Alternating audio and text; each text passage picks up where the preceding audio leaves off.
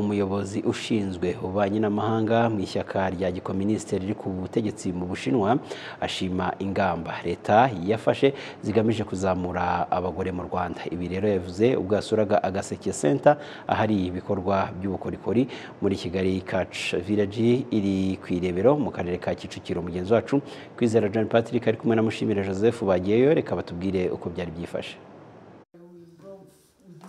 Umuyobozi w'agaseke senta bera rukwavu avuga ko gusurwa n'uyu muyobozi ushinzwe ububanyi n'amahanga mu ishyaka rya gikominisiti riri ku butegetsi mu bushinwa bitanga amahirwe yo kumenyekanisha ibyo bakora mu gihugu cy'ubushinwa.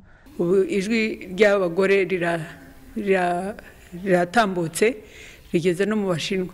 Ni ukuvuga rero hariho ubufatanye dushobora kubabonamo kuko nabo bafite imishinga isapotinga abagore. Ubwo tukaba tunateze kuzabigiraho byinshi. Kuko hari byinshi bagezeho twe turacyadivelopinga urabyumva ariko hariho byinshi dushobora kubigiraho kandi nabo bishimiye kuba twagirana imikoranire n'ubufatanye bwiza. Umuyobozi nshingwabikorwa w'akarere ka kicukiro mutsinzi antoine avuga ko usibye kuba iyi santire ifasha abagore hari n'abandi bo mu byiciro bitandukanye bahakorera. Iyi village ifasha atari abadamu gusa ahubwo mwabonye ko twashyizemo n'izindi komponenti urubyiruko abafite ubumuga bose bafite ubuhanzi kugira ngo bazane ibihangano byabo hano kugira ngo tubashe kubafasha icya mbere mu kubasha kubikora neza icya kabiri no kubasha kubahuza n'isoko.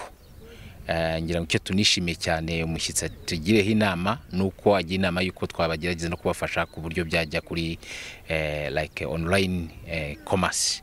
Kandi atwemerera n'ubufasha kugira ngo tuzakorane nabo kugira ngo badufashe kuba bakora advertisement yabyo. Ni igikorwa gikomeye cyane kandi twishimiye natwe uruzinduko rwe kuba tugira inama nyinshi kandi tubona azadufasha.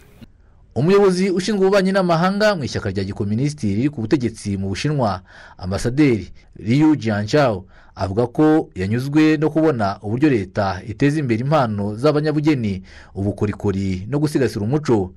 Yatanze inama yo gushyiraho urubuga rw'ikoranabuhanga ruzajya rutuma abashinwa bashobora kugura ibihangano mu buryo bworoshye.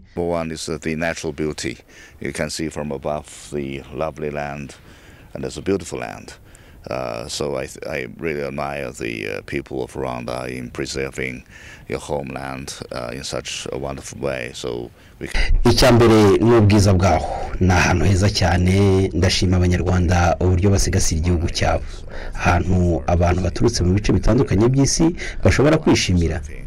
Ikindi nishimiye uburyo ubuyobozi bwagize igitekerezo cyo kubaka ahantu nk'aha. Agace kagaragaza uburyo bwo gusigasira umuco n'umurage.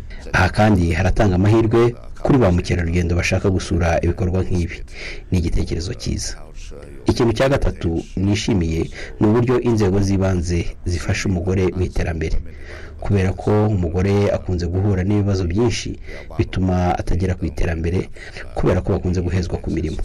Ariko uburyo bashyizwe hamwe bagafashwa mu mpano zabo bakabigisha bakabahugura ni ibintu byiza kuko bikuraho ubusumbane buri hagati y'umugore n'umugabo.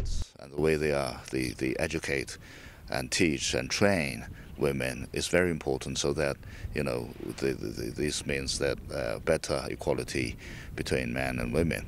Agaseke senta gaherereye ku gasongero k'umusozi wa rebero. Ahangaha hakaba ari ahantu hari ibikorwa by'ubukorikori ahangaha mu karere ka kicukiro aho abantu bahakorera bavuga ko byabafashije guhuza imbaraga dore ko kugeza ubu ngubu hari amakoperative mirongo itatu n'atandatu ariko n'abandi bantu bafite impano z'ubugeni nabo bemerewe kuza ahangaha kugira ngo bahuze imbaraga. Cyane cyane mu bijyanye no gukora agaseke birumvikana abo bantu bahabwa ikaze. Ubu rero bitewe n'abashyitsi bakomeye baturutse mu bushinwa barimo gusura aha hantu mu minsi ya vuba impano z'abanyarwanda ibiva ahangaha mu gaseke senta bizisanga ku isoko ryo mu bushinwa. Kwizera john patrick televiziyo rwanda i kigali.